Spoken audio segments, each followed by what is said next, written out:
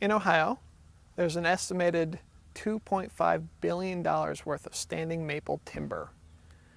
Uh, and there is a $5 billion nursery industry that employs roughly a quarter million people.